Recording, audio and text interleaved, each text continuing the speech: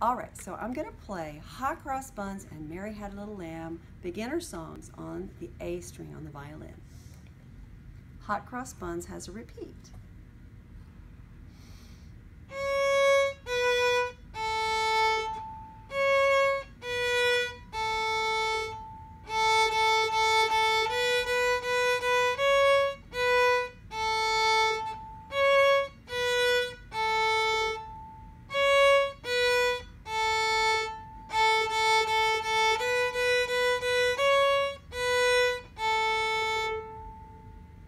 And Mary had a little lamb.